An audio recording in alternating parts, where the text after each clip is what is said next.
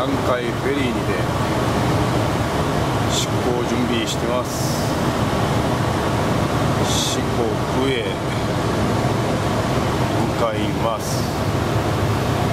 えー、四国どこが四国なんでしょうか。約2時間の船の旅ということで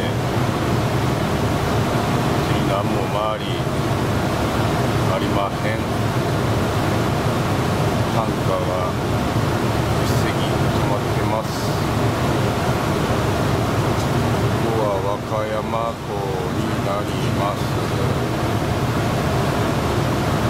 あと30分ぐらいで出港です